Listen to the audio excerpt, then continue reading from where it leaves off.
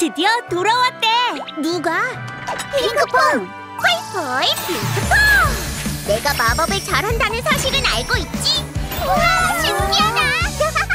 그런데 말이야. 어, 왜 저러지?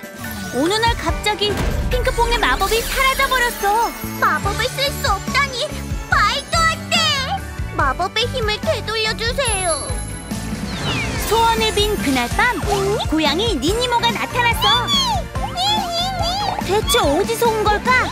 니니모의 비밀이 궁금해. 호기심 최고 호기. 천재 발명왕 포키. 빠르게 폴짝 제니. 부끄럼쟁이 레이첼. 그리고 귀여운 새 친구 니니모까지. 친구들과 함께라는 건 마법 같은 일이야. 핑크퐁과 호기, 새 친구 니니모. 모두 기대해줘